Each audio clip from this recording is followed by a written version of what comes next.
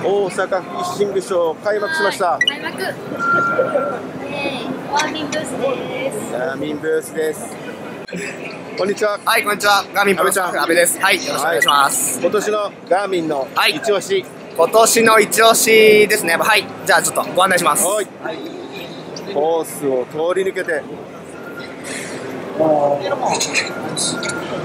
はい、えー、このエコーマップウルトラの12インチですね、これに関しては。で、えっと、これの一番の特徴は、まあ、とにかく画面が大きくなったのと、えっと、IPS っていう新しい液晶画面を使ってて、えーどの角度からでも、えーすごい見やすい画面になってます。液晶じゃないけど見やすいんやはい。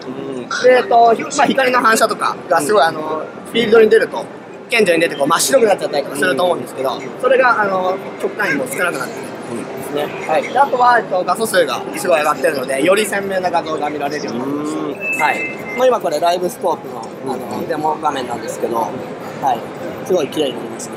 で、あと、エコーマップウルトラと、えープラス、まあ、エコーマップシリーズに関しては、この、本体の脱着がすごく楽です。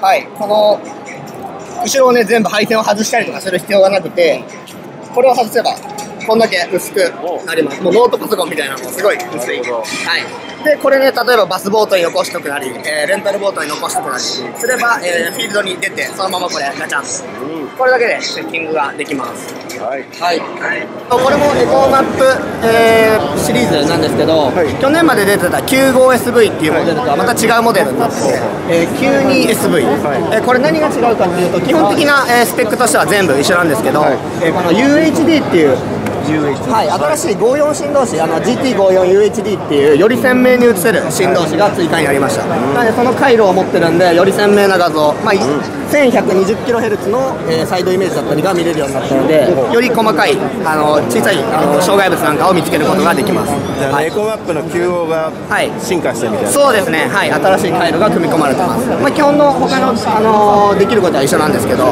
い。はい、以上です。他ですね、あとはやっぱもちろんフォース。コースはい。ワイヤレス機能。はい。本来はね、ここからこうやってワイヤーが出てると思うんですけど、はいはいはいこれはワイヤレスです。はい。であとはブラシレスモーター使ってて、すっごいパワフルになってます。で、まあ、これはあのエレキの修理屋さんとの、えー、とコラボモデルで、まあ、シャフあのシャフトカットしてあってショートマウントなんですけど本来は50インチですでバスボートにつけるもいいしアルミボートにつけても問題ないです、はい一押しですはいはいこちらですね、エレキを、えーガーミンからリリースしました。で、こちらの特徴なんですけど、はい、ワイヤレスです。離れてても、はい、離れてても操作することができます。で、これ70メートルぐらい大丈夫だそうです。はい、離れてても。もう一つの特徴は、このブラシレスの、はい、ブラシレスの、えーモーターです。でブラシレスにすることによってハイパワーで、えーめちゃめちゃ静かです。はい。めっちゃ速いです。本当に回してみてはい。これ音します？聞こえます？これ今マックスぐらいまで持ってってるんですけど、めちゃめちゃ静かです。はい。木の落とし方でねそうですね。でもブレもねすごい少ない。持ってもらうとねわかるんですけど、めちゃめちゃ静かです。はい。ブレないです。すごいねはい、でね、ここにね、54、GT54 っていう UHD の振動子が埋め込まれてるんですけど、えーこれがね、7万7000円するんですけど、これがセットになって単ます。体で買うと7万7000円はい、はい、そうです。はい。で、えっともう一つ、このね、ターの本体と、えーエレキ、あ、エレキとすみません、えっ、と、魚探のリンクすることができます。そうすることによって、ここで行きたいところに、えーピンポイント打ったりしたら、そこに進むことができます。これさ、はいはい線でつながってると？いや、これは、えっと、Wi-Fi でつながってます。はい。はい。で、もう一つですね、えー、マウント。マウントがめちゃめちゃ軽く上げることができます。ここ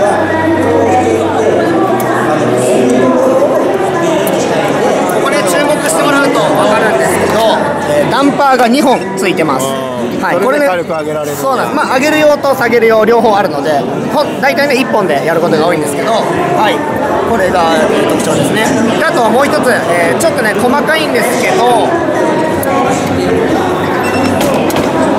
はい、これね、向きが、えー変なところに向いてると思うんですけど、上げるときに注目してください。勝手に横になったはい、自動で横に向きます。おおねこれね、結構ね、やられてる方だと分かると思うんですけど、意外とストレス。です。はい、これが勝手に、えー切り替えて、横に向いてくれるので、おおなるほどね。なんかウイードとか少しぐらいついとったらこのショックで取れそうな感じだね。そうですね。はい。